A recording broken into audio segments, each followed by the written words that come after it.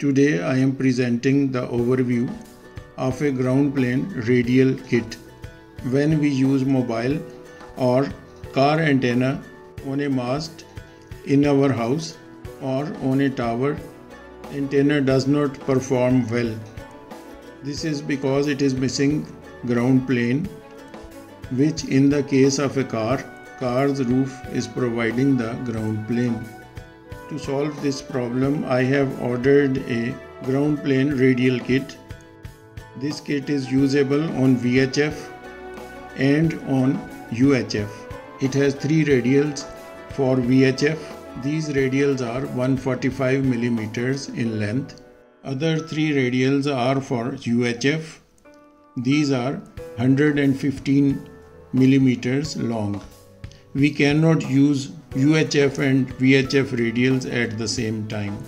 These radials fit into the this centerpiece. It has PL259 which is a UHF connector on one side and UHF SO239 is on the other side.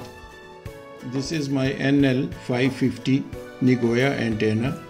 I brought it down for this video. It has marks of packing tape. It is a fiberglass antenna. This is dual band antenna for 2 meter and 70 centimeter. If we mount it on a boom, it shows very ridiculous SWR and a poor performance. In this video I am not going to live test it. It's an overview video only. Let's assemble it.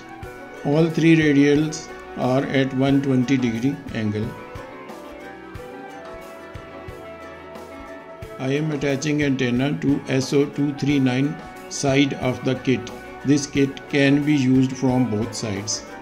It looks nice and I hope it works nice as well.